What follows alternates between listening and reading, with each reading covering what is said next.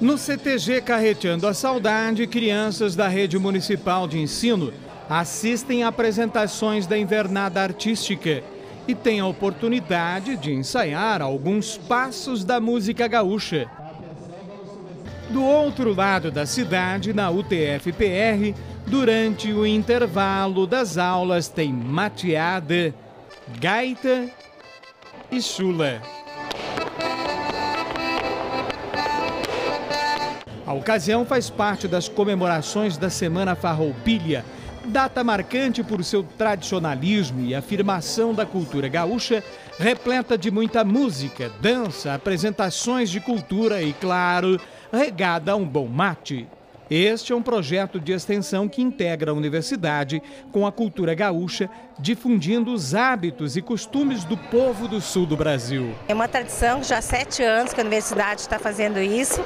Ah, entre uma ligação entre professores, alunos e funcionário.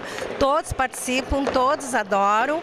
A pena é o horário, a gente tem feito só nos intervalos, dá 20 minutos de manhã e 20 minutos à tarde. Para os acadêmicos, uma oportunidade de compartilhar seu estilo de vida. É um sentimento muito bom a gente estar aqui com essa gurizada da UTF, professores, alunos envolvidos, em prol de, de lutar por uma cultura tão bonita e mostrar é, até para outras pessoas aqui da, da UTF, para gente que vem de longe, a cultura do nosso sul aqui, Paraná, Santa Catarina e Rio Grande do Sul. É um modo de vida, tanto os hábitos, o, a forma de se relacionar com as pessoas, é, o, os valores mais referentes à família.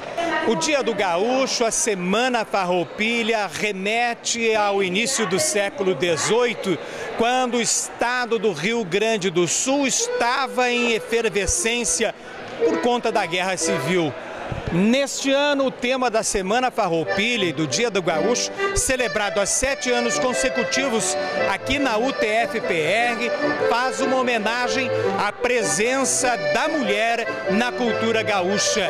A homenageada deste ano é Anita Garibaldi, uma heroína que contou sua história em livros e até no cinema. O Dia do Gaúcho lembra a Revolução Farroupilha, ou Guerra dos Farrapos, que teve início em 20 de setembro de 1835, terminando em 1845, na Guerra Civil mais longa do Brasil.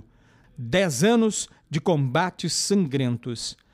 Mas as armas foram postas de lado e hoje o movimento gaúcho exprime sua cultura através da música e da dança, como a chula, um desafio cuja história remonta aos primórdios da história do Rio Grande do Sul, como lembram os desafiadores de hoje, Marco Coldebella e Leonardo Foz. A dança foi criada pelos tropeiros na, na antiga.